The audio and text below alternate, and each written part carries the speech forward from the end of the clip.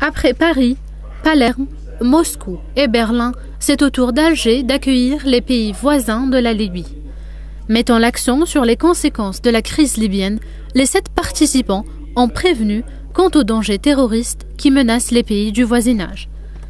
Sans frontière commune avec la Libye, le Mali, victime collatérale de la crise libyenne de 2011, a insisté sur l'importance des initiatives africaines pour résoudre cette crise.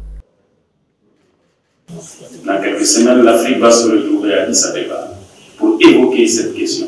Comment faire taire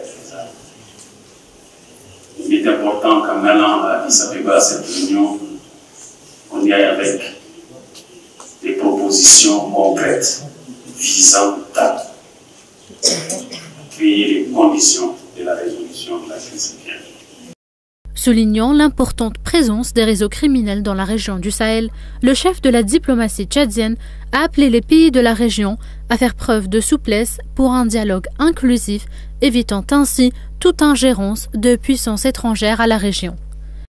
La multiplicité des initiatives de médiation, souvent non désintéressées, n'a fait que malheureusement compliquer davantage le processus de sortie de crise. Il convient de noter avec force que quels que soient les efforts des acteurs extérieurs, il incombe d'abord et avant tout aux acteurs libyens de trouver une solution à la crise. Initiée par l'Algérie, cette réunion a réaffirmé l'importance du règlement politique inter-libyen inclusif et donc pacifique de la crise qui secoue ce pays. Cette rencontre précède la réunion qui se tiendra à Brazzaville, capitale du Congo, le 30 janvier prochain.